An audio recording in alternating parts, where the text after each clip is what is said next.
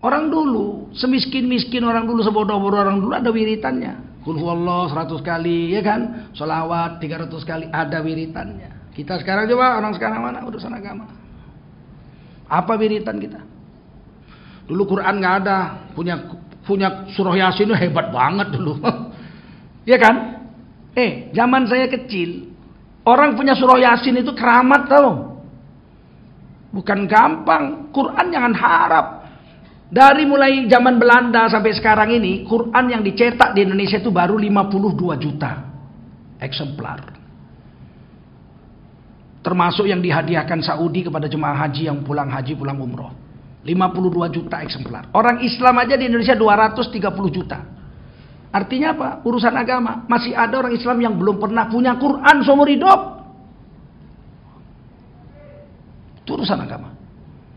Kalau saya udah sering lewat satu desa gitu kan, ah maghrib belok cari masjid nggak ada, singgah aja rumah orang, assalamualaikum, ada orang Islam sini, oh pak kami Islam pak, oh, kami mau numpang sholat ya, naik ke rumahnya, kamar mandi kita sholat, tikar sembahyang nggak ada, nggak ada tikar sembahyang mana ada, tikar tidur dia lah dibentangkan, kami nggak punya tikar sembahyang katanya, itu sholat kita, dia pun nggak pernah sholat, ayo sholat, lihat-lihatan gitu. Ayo sholat dengan saya. Kalian belum pernah sholat? Belum. Sama saya yuk. Sholat. Nah, habis sholat. Dipotongkan ayam. Singgah situ. Makanlah dulu. Malam. Udah malam. Makan. Baik-baik orangnya. Saya tanya kalian. Sholat. Bagaimana? Ya baru hari ini kami sholat pak. Aduh. Kalian punya Al-Quran? Ah, Quran? Gak punya. Tikar sembahyang aja gak punya. Ada berapa juta orang yang seperti itu? Yang hebatnya lagi di daerah Sulawesi sana. Pergi ke pulau kecil. 6 jam dari dari pulau besar itu.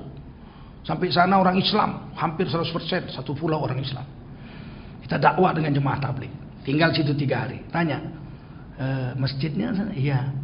Kok kosong ya? Kami udah dua tahun nggak sholat Jumat pak. Aduh. Jangankan sholat lima waktu. Sholat Jumat udah dua tahun nggak sholat. Kenapa? Imamnya mati. Nggak ada yang bisa khutbah Jumat. Nggak ada yang bisa khutbah Jumat. Terus ya udah dua tahun kami nggak sholat Jumat. Aduh. Makanya Profesor Din Samsudin waktu jadi ketua umum MUI, mantan ketua umum Muhammadiyah, Bang Din bilang, sebetulnya orang Islam di Indonesia 230 juta, tapi yang tersentuh agama itu cuma 100 juta. Itu yang tersentuh dakwah Muhammadiyah, NU, Persis, Matralul Anwar, ya kan? Dewan dakwah itu yang tersentuh itu cuma sekitar 100 juta. 130 juta rakyat Indonesia enggak. Yang Islam, yang Islam belum tersentuh agama. Dan saya percaya itu. Kemarin berapa bulan yang lalu saya pergi ke Kalimantan mengumpulkan dana untuk Dewan Dakwah Islamiyah itu yang di Keramat. Untuk apa? Untuk membayar gaji dai-dainya Gajinya itu satu bulan satu juta tiga ratus. Mereka wajib dakwah dua tahun di kampung-kampung dikasih sepeda motor trail. Satu tahun Dewan Dakwah memerlukan 20 miliar untuk 1.500 dai yang dikirim ke kampung-kampung. Memang di kampung ya Allah. Memang di kampung naik trail jalannya hutan merinding. Nggak ada jalan aspal mana ada jalan kebun-kebun itu dia. Allahu Akbar. Hari raya aja sholat hari raya cuma 12 orang. Sholat idul fitri 12 orang. Ya Allah. Kalau mereka nggak bertahan, nggak ada dai di situ, nggak ada guru di situ. Mereka yang bertahan di situ. Dewan dakwah. Kalau jemaah tablik datang tiga hari, empat hari pulang. Tiga hari, empat hari pindah, pindah, empat puluh hari dia pulang. Kalau dewan dakwah dua tahun. Dua inilah yang datang ke kampung-kampung. Dan saya ikut jemaah tablik. Tahu betul saya, ya Allah, ada satu kampung kami buka pintu masjidnya, jatuh ular. Udah tiga tahun nggak pernah dibuka, imamnya mati. Lalangnya setinggi orang. Kita tiga hari nggak bisa dakwah, bersihin masjid dulu, babat lalang, ya Allah. Begitu aja datang kepala desanya maki-maki. Kamu sesat kamu katanya. Loh kok sesat? Ya kamu ngajak-ngajak orang ke masjid. Mengganggu pekerjaan orang di ladang. Iya. Mau ku cekek kan batang lehernya. Nggak boleh pula dalam Islam kan gitu. Kita diusir lagi dibilang sesat. Saya bilang udah udah tiga tahun nggak ada sholat Jumat sini. Kau bilang kalau aku sesat. Jumat besok kita sholat sini. Saya bentak juga dia. Saya kepala desa, gila kau. Saya bilang. Kepala desa gila kau.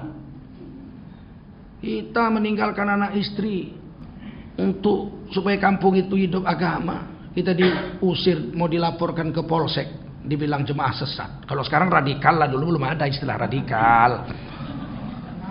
Akhirnya Jumat kita datang ya anak-anak muda semua datang nih. Kita besok sholat Jumat. Kalian ajak teman-teman kalian. Dapatlah kami hampir 40 mungkin 40 gitu. Begitu azan semua menjerit nangis. Sebab tiga tahun nggak ada sholat Jumat mana ada azan. Apalagi sholat subuh Jumat aja nggak ada. Saat sekarang ini urusan agama mundur. Urusan dunia jangan tanya. Anak kecil udah main Android. Suruh baca Quran nggak bisa. Cuman saya mau soroti bahwa urusan agama sekarang mundur.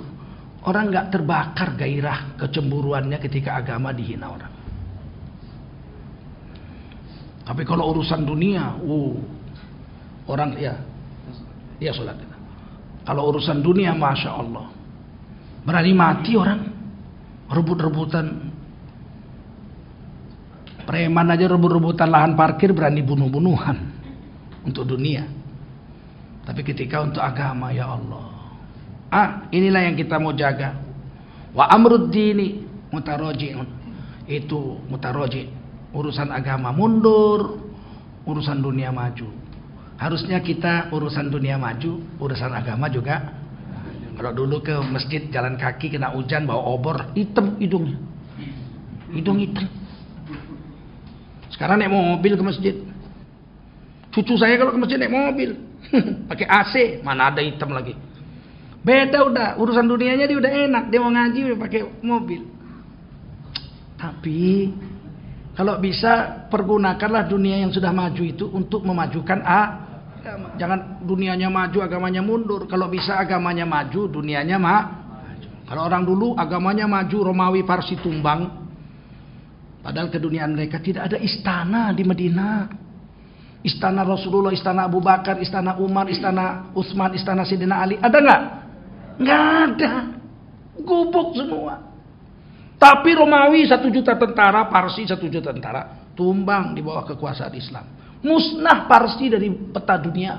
Romawi jadi negeri kecil. Nggak ada artinya sekarang. Begitu. Tapi nggak punya istana. Ini utang banyak aja istana mau bikin baru. Pindah negeri lagi sana Kalimantan. Aduh. Habis sini aja nanti kita sambung. Assalamualaikum warahmatullahi wabarakatuh.